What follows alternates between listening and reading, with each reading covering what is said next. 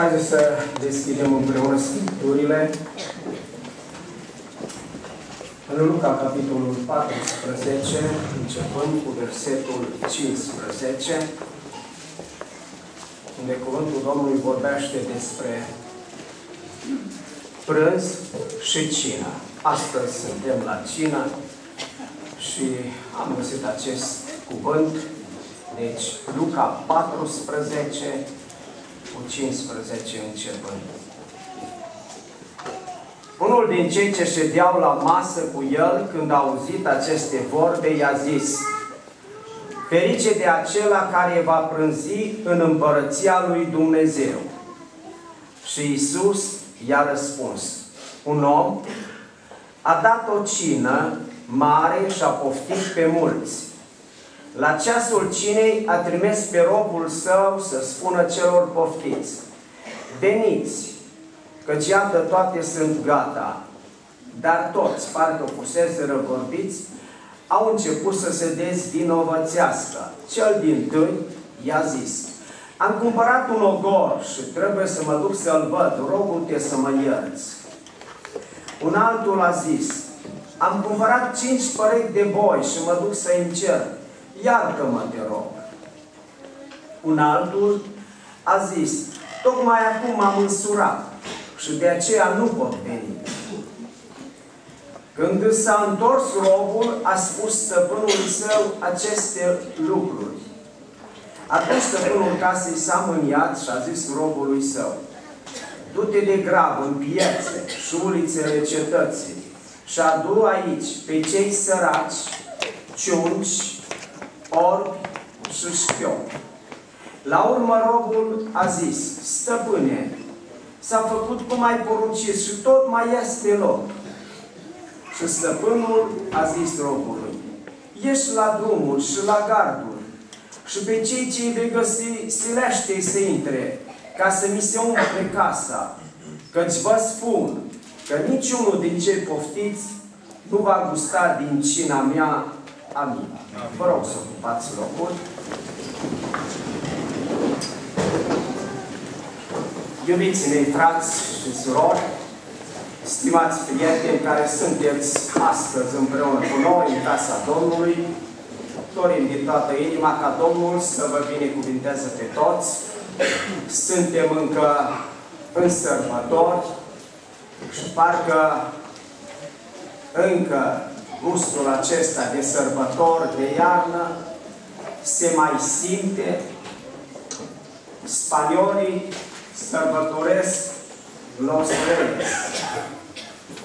Românii noștri astăzi, 6 ianuarie, sărbătoresc Boboteaza. Știți ce înseamnă Boboteaza, nu? Botezul Domnului Isus. Și noi, Astăzi și noi avem o sărbătoare. Noi sărbătorim cina Domnului. Se lăsăm pe spanioli sărbătorile lor, obiceiurile lor idolatre, să trecem peste ele și chiar vă recomand să nu ne amestecăm în astfel de sărbători, nu sărbători creștine, sunt sărbători idolatre. Ne aducem aminte că frații noștri din România sărbătoresc astăzi botezul Domnului și ce îndemn frumos, chiar astăzi, când este bobotează, când este botezul Domnului, fratele Iulian spune aici, la noi, să deschide o listă de botez. Domnul să-i binecuvinteze pe cei care astăzi se vor înscrie pentru botez. Și știu că se vor înscrie și ne rugăm Domnului să-i binecuvinteze la aceasta. Dar sărbătoarea noastră din această zi, așa cum am spus, este cina Domnului. Încă de dimineață se vorbea aici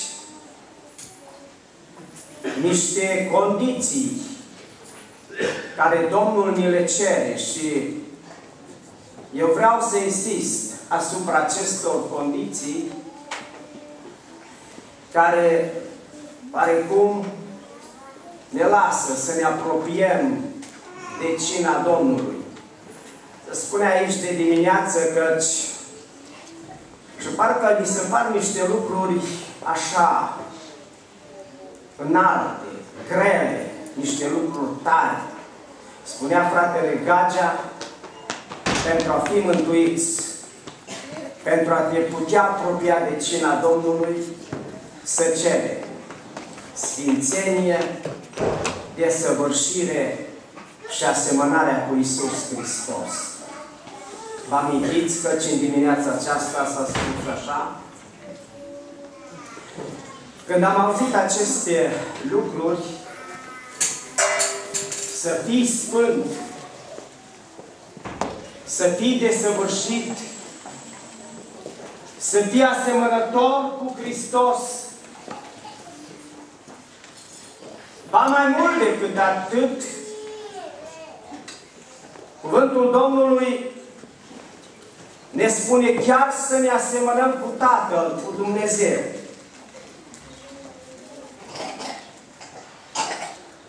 Matei 5, versetul 48, spune Voi, dar, fiți desăvârșiți, după cum și Tatăl vostru cel ceresc este desăvârșit. Ce înseamnă a fi desăvârșit? Îmi place să iau câteodată Biblia spaniolă sau eram acasă, mai luam Biblia ungurească, spuneam copiilor să mai citească în engleză unele versete care să înțeleg mai greu. Și am luat și când am citit acest cuvânt, fiți desăvârșiți, am vrut să înțeleg oare spaniolii cum au tradus. Poate îl vom înțelege mai bine așa. Desăvârșit.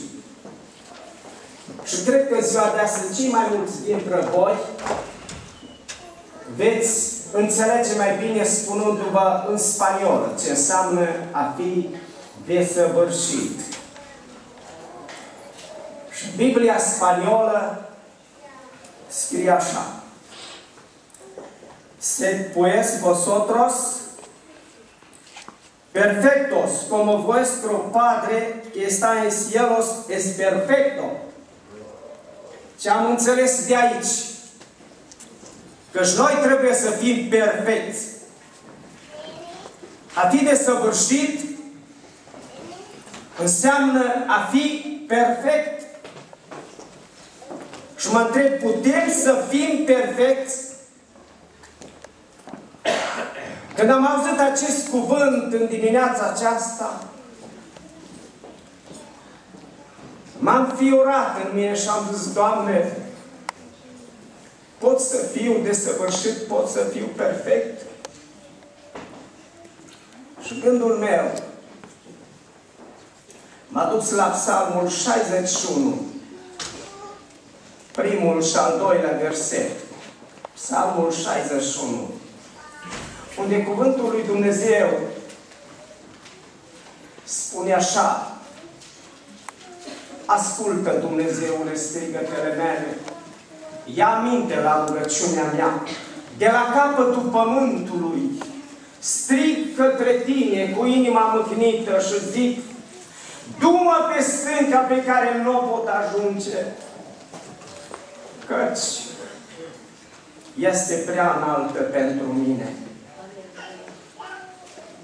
Putem să ajungem la o stâncă așa de înaltă, putem să ajungem la desăvârșire? Du-mă, Doamne, pe stânca aceasta de sfințenie, de desăvârșire. Nu pot să ajung acolo, Doamne, nu pot să ajung. Te-ai cercetat în dimineața aceasta, te-ai cercetat zilele acestea.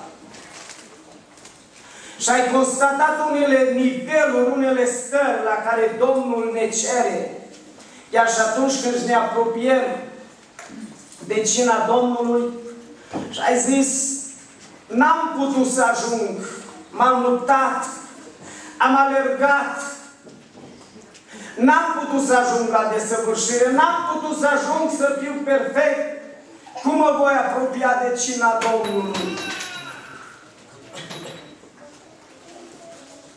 Du-mă pe stânca pe care nu o pot ajunge. De la capătul pământului privea David și vedea undeva o stâncă. Știa că trebuie să ajungă acolo.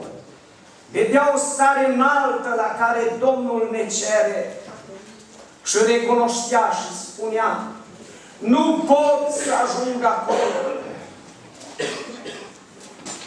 Mi-aduc aminte de o stâncă. Am locuit un an și ceva în Benidorm. Și merg, mereu când eram liber, mergeam pe malul mării, mergeam pe plajă, priveam de multe ori, așa, în lungul mării, și vedeam o stâncă acolo, Isla de Benidorm, o numesc ei. Și aș fi vrut să ajung acolo. Și o vedeam așa de departe. Și mă uitam la valuri. Și de câteva ori am ajuns până la ea. Mi-am dus cu vaporul, văzând valurile mari cum se izbesc în vapor, coboram în fundul vaporului, vedeam că ce, pe măsură ce ne depărtam de, de țări, marea era tot mai adâncă. Și am constatat un lucru. La un moment dat, nu mai vedeam fundul mării, dar pe măsură ce te apropiai de stâncă, parcă nivelul mării scădea, te apropiai de stâncă. Mi-a rămas mereu această imagine în mintea mea. Și mă gândesc mereu, Doamne, vreau să ajung la stânca care nu se poate ajunge. În Cartea Corintenilor spune cuvântul Domnului căci Israelul bia dintr-o stâncă care venea după ei și stânca era Hristos. Glorie Domnului! Amin.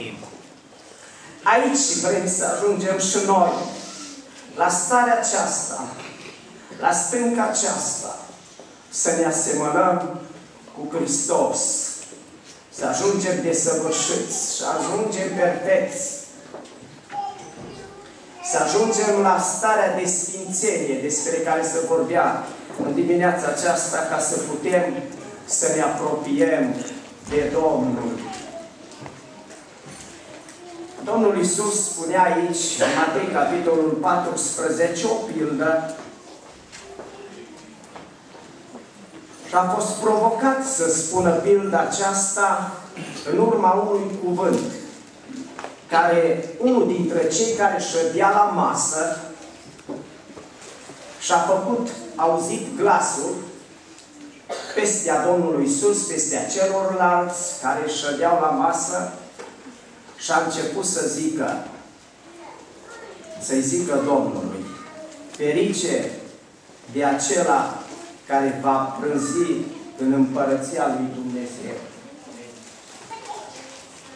Iubiții mei frați și surori,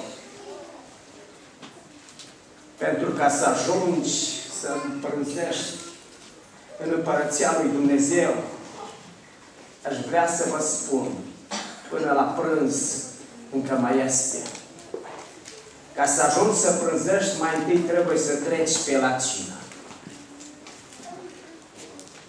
Și după cină, să treacă noaptea neagră, cu toate pericole, cu toate peripețiile ei, și apoi luând cină, trecând peste noaptea vieții acestea, peste noaptea în lumea acestea, vei putea să ajungi să călzești în Împărăția lui Dumnezeu.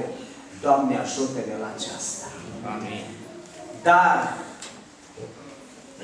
până să ajungi acolo, tu trebuie să cinezi. Și astăzi, noi cinăm împreună cu Domnul Isus Hristos.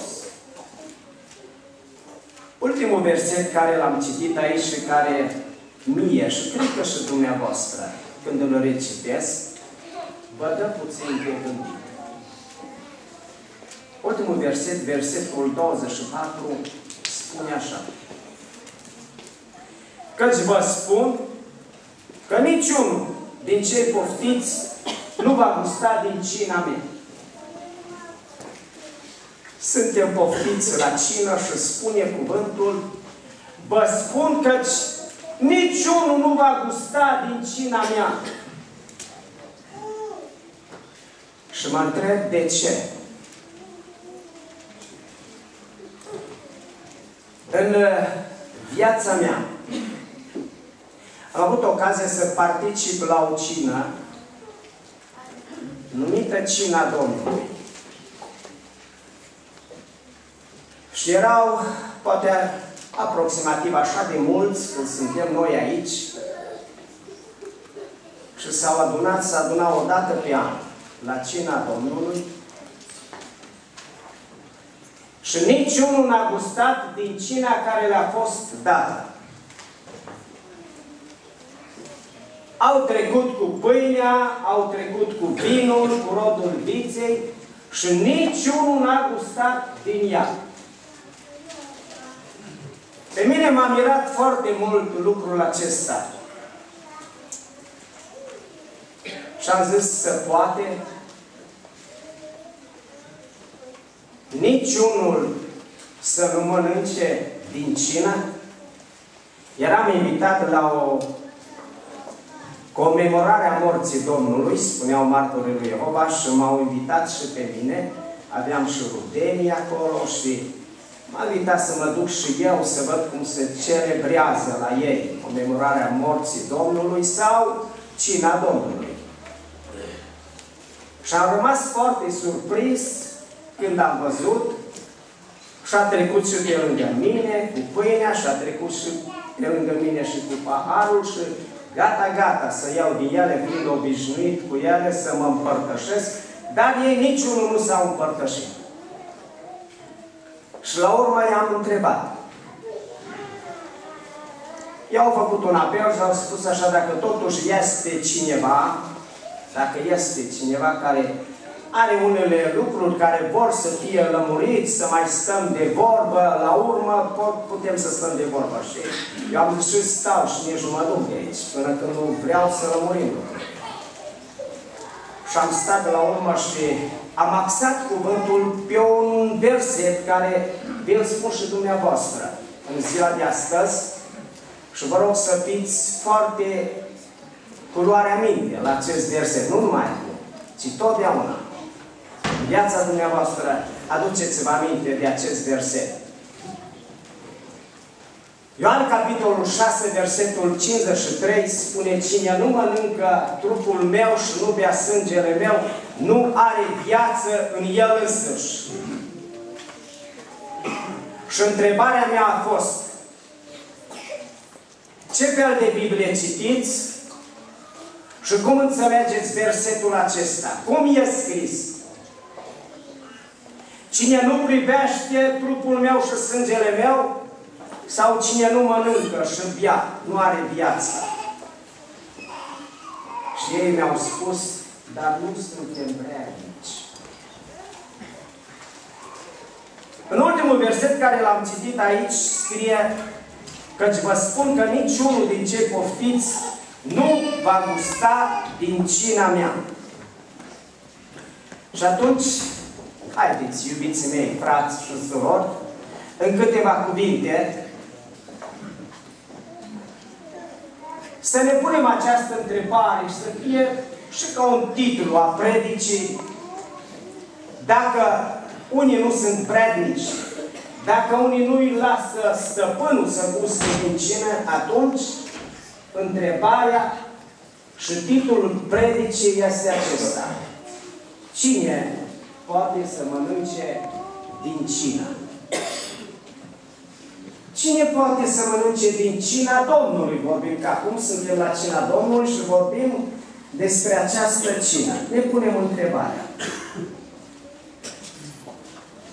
Și cuvântul se axea astăzi și mi se spunea căci cei desăvârșiți, cei desăvârșiți pot să mănânce din cina. Și este adevărat. Dar întrebarea care intervine atunci, cum putem să fim desăvârșiți? Desăvârșiți nu putem. În niciun caz. Perfect să nu putem fi. Dar să găsim totuși unele căi spre sfințire, spre desăvârșire, spre asemănarea cu Isus Hristos, să le găsim și să ne folosim de ele.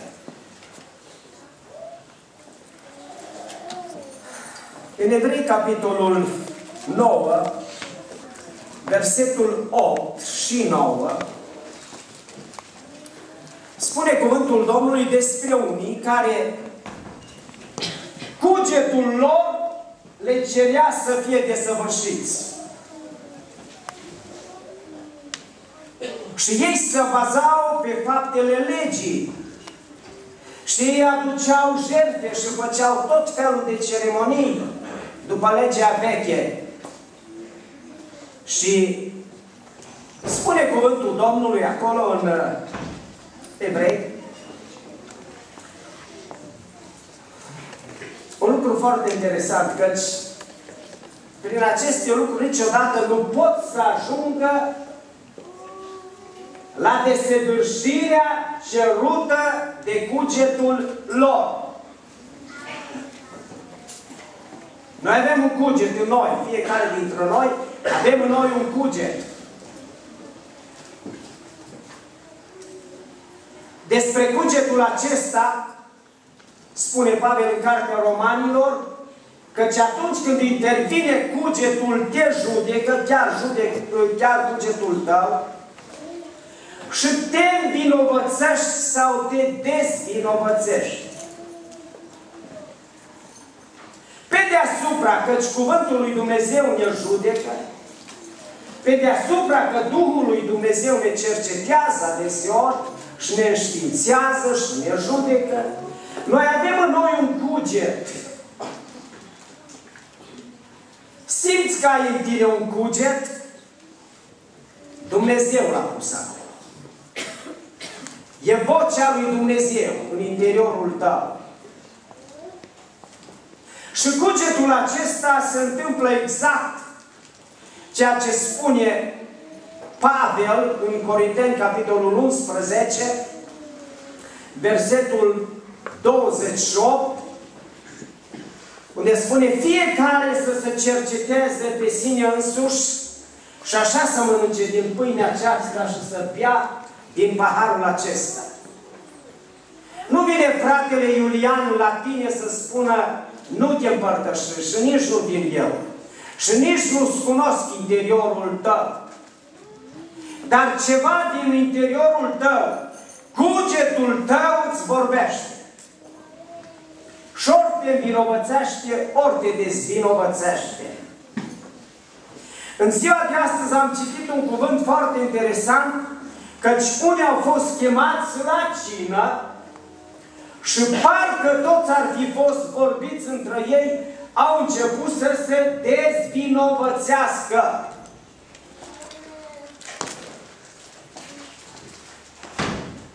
Versetul 18. Dar toți, parcă fusese vorbiți, au început să se dezvinovățească dezvinovățirea este ceva care te depărtează de cina Domnului. Când tu însuți cauți să te dezvinovățești, Ei n-au putut să meargă la cină, cei care au fost chemați. De ce? Pentru că au început să motiveze, au început să se dezvinovățească.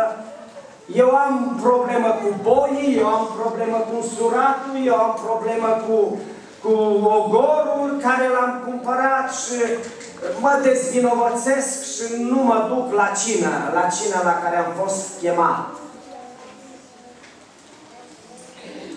Și aici lucrurile sunt foarte dificile.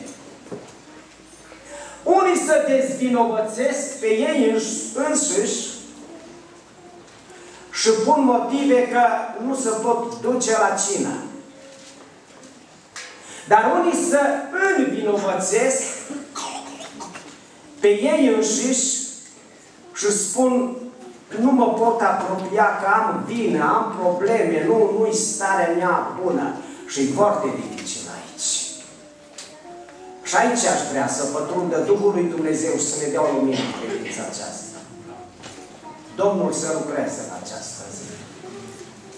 Pentru că stai adeseori și am stat și eu adeseori când am stat înaintea lui Dumnezeu, fie că a trebuit să mă apropii de cină, fie că a trebuit să predic, fie că a trebuit să slujesc, și din interiorul meu ceva îmi spunea, ești vinovat. ce de făcut în cazul acesta?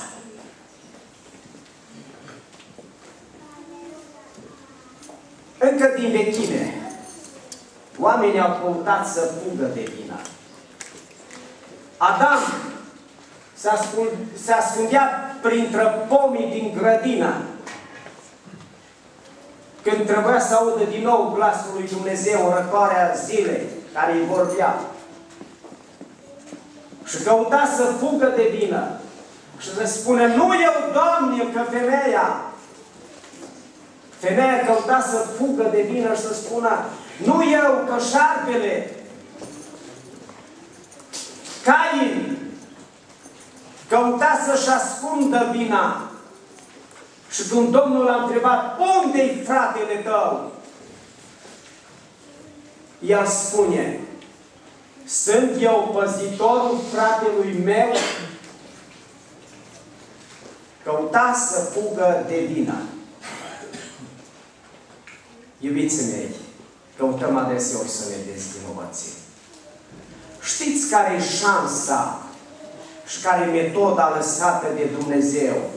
Cea mai bună de a scăpa de vină, nu fuga de vină. Recunoaște recunoaște-te că ești vinovat, mărturisește-te înaintea Domnului, cere iertare. Și atunci se întâmplă cu tine al doilea lucru, pe care îl găsim tot în Evrei, capitolul 9, versetul 14, și care spune căci jertfa lui Hristos, sângele lui Iisus Hristos, ne va curăți cugetele noastre de faptele moarte. Domnul să facă lucrul acesta. Și o face prin jertfa lui Iisus Hristos. Prin sângele Lui. El ne curăță cugetul nostru de faptele moarte ca să slujiți Dumnezeului celui viu. Dumnezeu să lucreze în sensul acesta. Și de aceea stăm noi la cină. Nu pentru că suntem perfecți, nu pentru că suntem vrednici, dar pentru că acum, aproape 2000 de ani, o sânge sfânt a curs pentru mine, pentru tine. Cineva a murit pe cruce și ori de câte ori faceți lucrul acesta, spune cuvântul Domnului Corinteni, vestiți moartea Domnului până va veni iar. Și de aceea putem sta înaintea Lui. Căci Dumnezeu să uită la noi astăzi prin jertfa Domnului Iisus Hristos.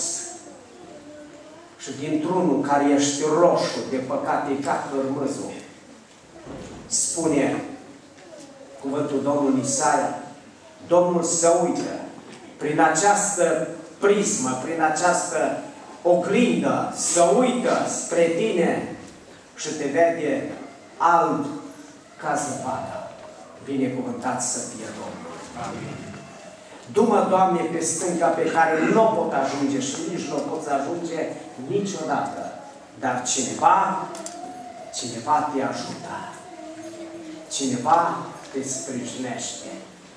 Citeam zilele acestea într-o carte, când unii s-au dus să cucerească cetatea Antiohia, era de netrecut, era de neînvins. Și cineva din interiorul cetății, care era în legătură cu ei, i-a lăsat o scară.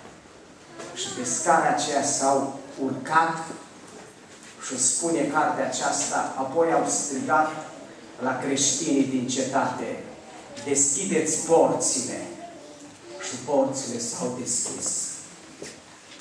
Și au putut să intre în cetate și au cucerit-o. Iubiții mei, frați și surori, ție ți se întinde astăzi o mână, o scară, și tu poți să ieși biruitor în numele Domnului Isus Hristos. Căci de altfel, ca să te apropii de cina Domnului, unul din motive este acesta, să fii biruitor. Să fii biruitor. Numai biruitor. Dacă Avram a ieșit odată înaintea lui preotul, preotul Melchisedec, i-a ieșit înainte ca și cum avem noi aici. Pâine și vin i-a adus. Pâine și vin avem și noi astăzi, care reprezintă pe Domnul Isus Hristos, trupul Lui și sângele Lui. Și când Melchisedec a venit la Avram, după biruirea împăraților, i-a dat pâine și vin ca unui biruitor. Ca tu să te poți apropia de trupul și sângele Domnului, trebuie să fii un biruitor. Ce să biruiești? Ce-a biruit Avram? Cuvântul Domnului spune în Genesa, capitolul 18, 14, cu versetul 18, căci l-a biruit, a biruit câțiva împărați cu care s-a luptat. Și în primul rând spune căci l-a biruit pe Chedor la Omer, unul din împărați pe care i-a biruit. Știți ce înseamnă Chedor la Omer în traducerea lui? Căci de altfel în Biblie fiecare cuvânt are o semnătate. Așa e scrisă Biblia și așa erau numele proprii, fiecare are o semnificație. Chedor la Omer înseamnă palavragiu, cel care vorbește mult. Ți-ai biruit zilele acestea gura ta, limba ta, sau ai rămas tot un palavragiu, unul care vorbește mult și fără de rost, Doamne ajută-ne să-L birui pe Chedor la Omer. Dumnezeu să ne binecuvânteze la aceasta. Un alt împărat pe care l-a biruit Avram ca să poată să primească din mâna preotului pâine și vin ca un biruitor a fost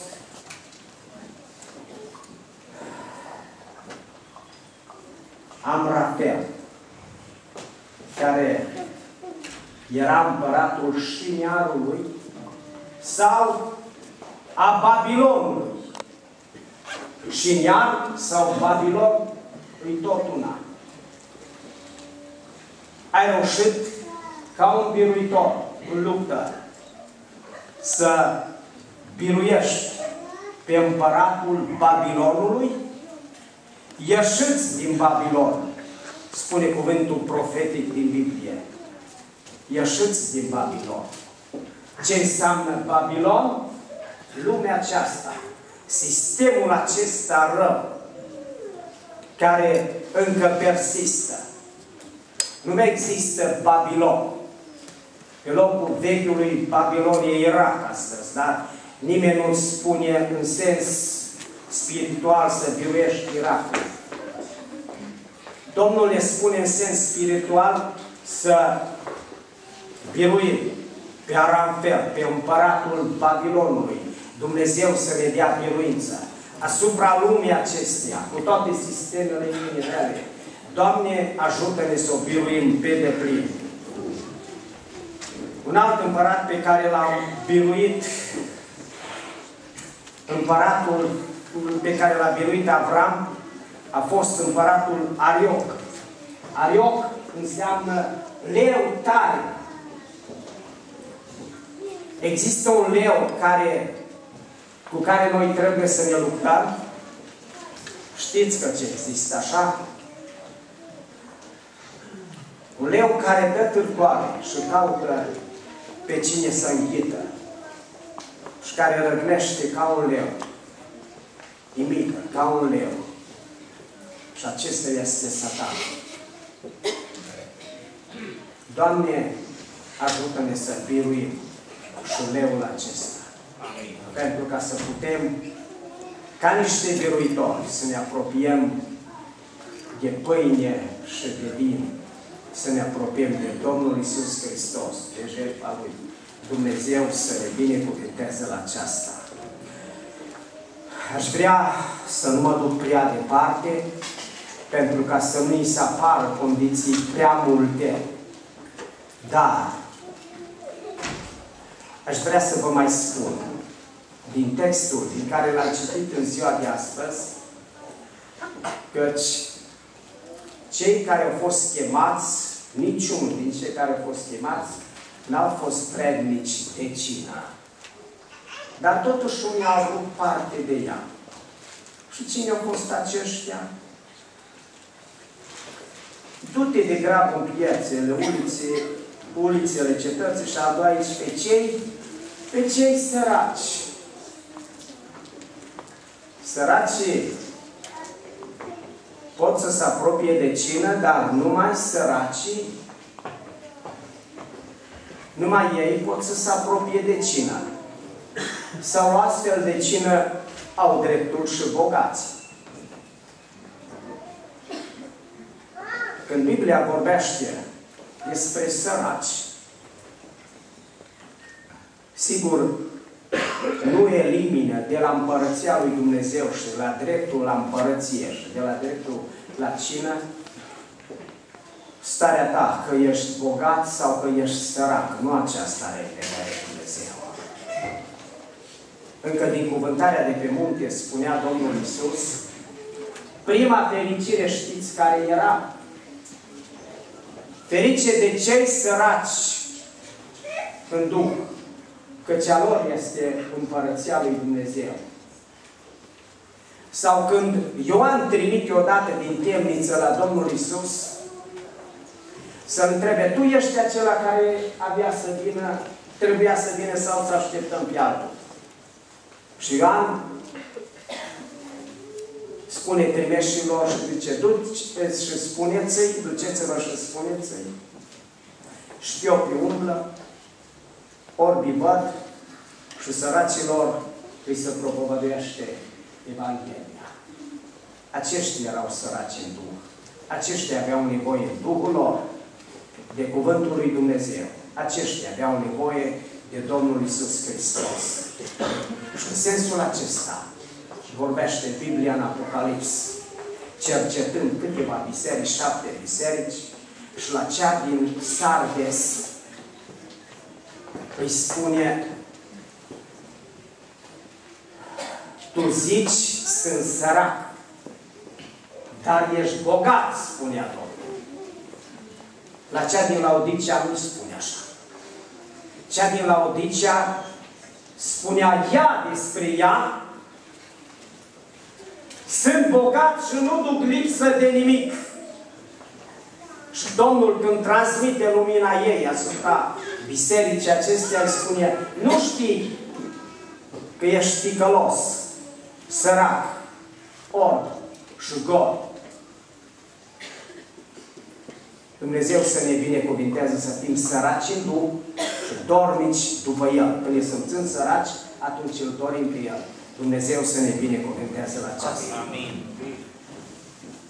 Unul dintre modelele care stătea la masa împăratului mi apare mereu și mereu mă gândesc la el, era Mefi Boșet. Despre acest Mefi Boșet spune Biblia că el era unul din, era fiul lui Ionatan, se trăgea de la împăratul Saul, dar el stătea cu fiii împăratului la masă, acolo, cu, cu împăratul David și cu fiii lui și cu cei care stăteau la masa împăratului. Și aici spune cuvântul lui Dumnezeu, chemați și pe cel orb și pe cel șchiop, chemați și pe cel olog și Mefiboset era olog și stătea totuși la masa împăratului. Și mai mult decât atât, el făcea parte dintre cei care au fost vrăjmașii lui, din neamul care a fost vrăjmaș împăratului. Și s-a găsit totuși o modalitate ca el să stea la masă, să cinează, să frânzească împreună acolo cu împăratul și rămâne pentru noi un exemplu. Și ne întrebăm cum. Vinovat ai fost și tu. Vinovat ai am fost și eu. Împotriva împăratului. Dar cineva, să știți, Mefiboset n-a stat la masa împăratului prin prednicia lui, ci prin prednicia altuia. Tatăl său, Ionatan, l-a iubit pe David și a făcut un legământ cu el. Și a spus, te iubesc mai mult decât dragostea femească. Și tu stai astăzi la masa împăratului și cinezi la cina Domnului, nu pentru că ești prednic tu, ci altcineva. Altcineva, în meritul altcuiva. Cum Mefiboset, în meritul lui Ionatan, el avea dreptul să stea acolo, pentru că s-a făcut un legământ și tu vei sta astăzi la masă, vei sta la cină în meritul lui Iisus Hristos. Binecuvântat să fie Domnul. Amin. Și de aceea stai la masă. Nu pentru că meriți tu. Și al doilea lucru, Mefiboset era omul care își păstra locul. Și cu aceasta vreau să închei. Mefiboset stătea la masă împăratului. Și la un moment dat, a devenit așa, o furtună, care gata, gata să-și piardă locul acolo. Țipa care îngrijea de el, atunci când Absalon a făcut răscoală, s-a dus și a vorbit rău de el. Și numai niciune a spus despre el. L-a lucrat pe din spate, așa, pentru ca să-și piardă locul. Dar Metiboșet a rămas la locul lui. Și când s-a împățășat din nou înaintea lui David, și s-a constatat că el nu și-a părăsit locul și nu este adevărat ce a spus Tiva despre el, el a rămas pe locul lui, pentru că împăratul și pecat drept. Rămâi pe locul tău, rămâi stator, unde Dumnezeu te-a așezat.